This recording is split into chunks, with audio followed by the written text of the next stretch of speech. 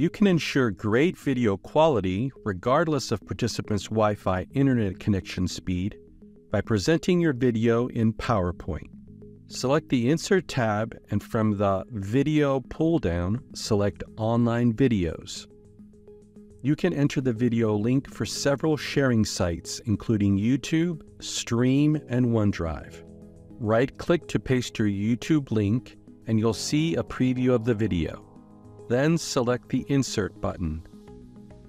Resize the video to fill the slide and be sure to save your PowerPoint to OneDrive.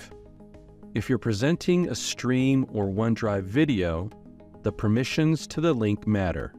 Select the Share drop-down button and share. Now select the gear icon and select the Anyone link option. You can change any of the more settings if you'd like. Then select the Apply button. Copy the link and right-click to paste it in PowerPoint. Currently, the Stream and OneDrive preview doesn't display. Select the Insert button and resize the video.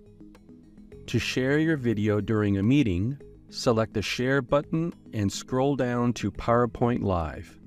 Select your presentation and play your video.